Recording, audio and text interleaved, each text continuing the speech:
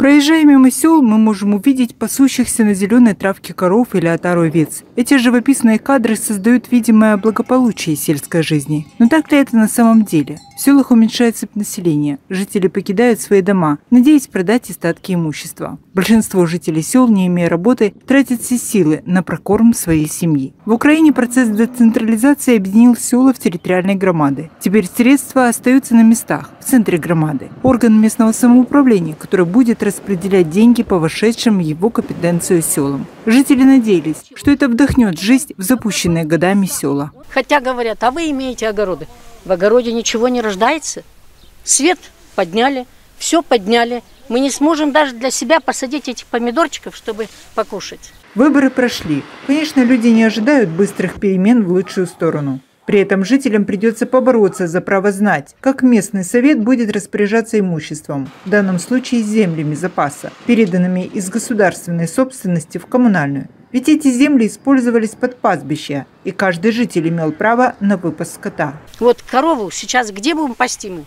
Нам негде будет пасти. Они хотят все забрать, все.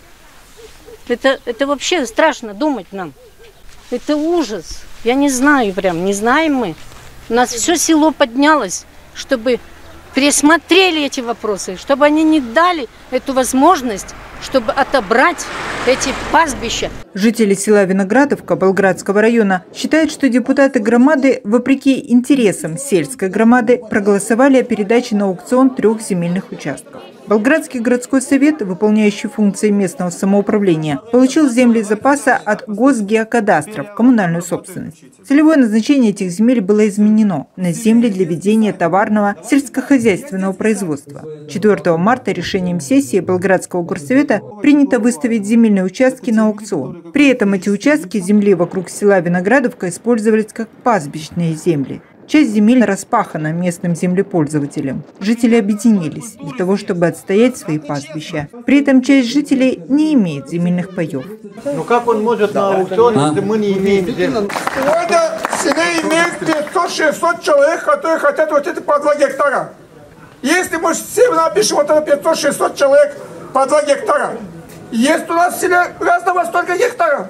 Я не знаю, вам не могу сказать. Председатель Болградской громады Сергей Дмитриев 5 апреля на встрече с жителями ответил, что он не знает, сколько всей земли Виноградовки и смогут ли получить жители по 2 гектара. Зато напомнил, что за использование земли необходимо платить налоги, которые будут наполнять бюджет территориальной громады. Вы говорите, что их не хотите, э, там у вас условия. Я понимаю ваши условия.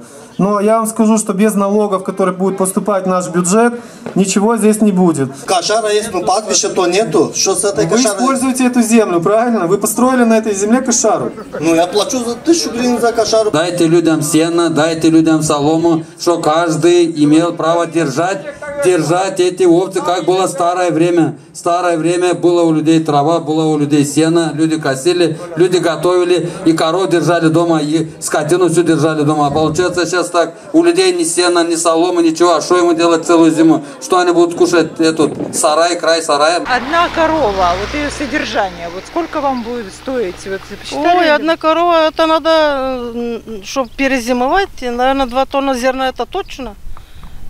Тюков 200. Это не только, чтобы люцерка была там. И если люцерки не будет, это какое молоко? В город возим, хочется людям, чтобы хорошее молоко было, жирное. А люцерка дорогая, 120 гривней. Это попробуйте 200 тюков нам. И что нам остается копейки на прожиток каждый день в город, если везти. Два человека вот мы с мужем возим 40 гривней туда и назад. Это сколько денег выходит за, за, за месяц? Впереди жители села Виноградовка ожидают проведения инвентаризации земель. Этой уступки они добились от председателя Болградской громады. В состав комиссии городского совета войдут представители от жителей Виноградовки. Причем данная комиссия должна успеть провести работу по учету земли до ближайшей сессии, которая запланирована на 29 апреля. Жители других сел пристально следят за событиями Виноградовки. Для каждого села вопрос земли болезненный. Это за что такое наказание сейчас нам? Мы не сможем смотреть, сами себя мы не сможем. А молодежь вообще без ничего сегодня. Где работа?